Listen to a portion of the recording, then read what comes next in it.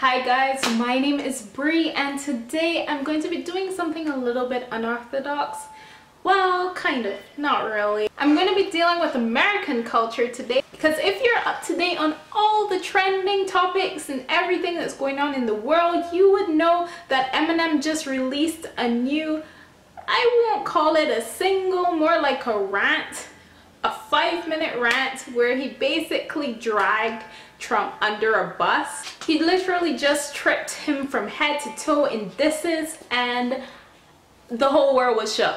Like I was shook. Like it was just an earth-shaking moment. I am sorry for those who oppose, but even if you oppose, you have to realize the talent that this man has. Like for him to go on this long tangent and still make it sound awesome and you still pay attention to everything he has to say it was just great i loved it and I was like, oh my god. He basically goes off on Trump talking about all the things that he has done wrong since he's taken presidency in January.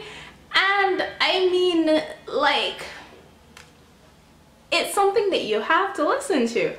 He, he covered so many topics and he basically wanted to let the world know that Trump is a horrible leader. He starts his video as if he doesn't know what he's gonna say. He's like, Wait, how was I gonna start this off? When you're like, where, what is happening right now? And then he goes on and he starts on Donald Trump. Guys, he just had him KO'd by the end of that video. It was a constant jab after jab after jab.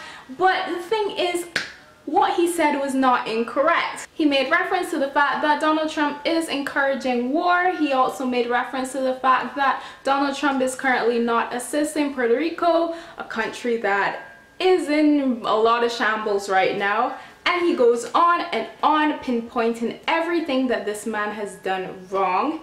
And at the end of the video, he does the most appalling thing, something that I think everybody is going to remember he gives his fans an ultimatum. He's like, choose me or choose Donald Trump because I am not sticking with any fan that votes for Donald Trump or is supporting Donald Trump.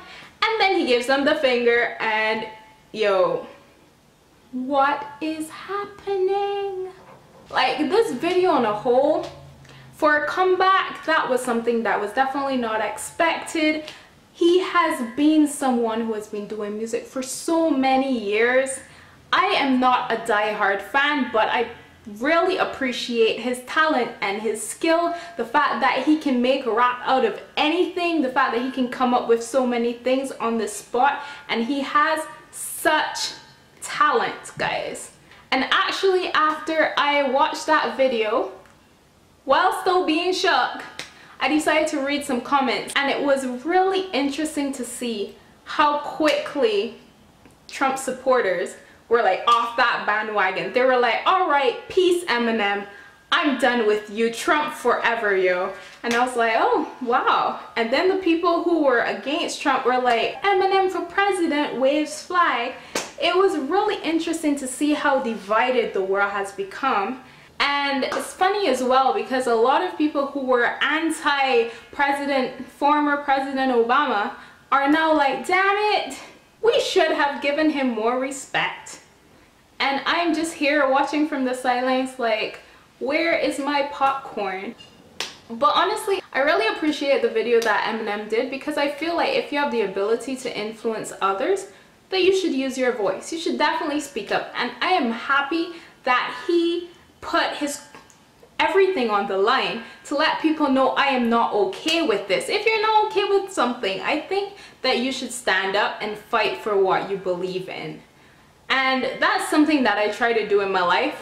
And sometimes I don't have the support to do it because some people are scared that if they fight or they stand up against something bigger that they would eventually fail and fall but that's not always the case sometimes it takes one person to influence a crowd so I like the video and I applaud what he's doing 100%. I think that you guys should check out his video. Even if you do not agree with what he is saying because I mean it is not said in the nicest way.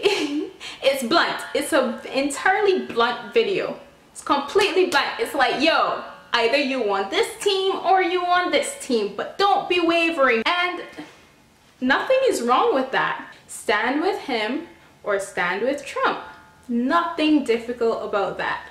Anyway, guys, I did my little rant. I had fun watching that video. I think I'm gonna watch it again because I am still shook. I'm wondering if any celebrities are gonna come out now with other videos, like songs and stuff to like join the movement because that would be pretty cool. So if you like my video, you can share, you can comment, you could subscribe. Let me know what you think below. I think I'm gonna try to do more of these topics. Make it more international though because I think everybody knows what's going on in America. Sometimes people are pretty oblivious to what is going on in the rest of the world. So I'm gonna see if I can make something happen. Anyway, guys, it's been a pleasure. Until next time, guys, remember to stay culturally active. Bye!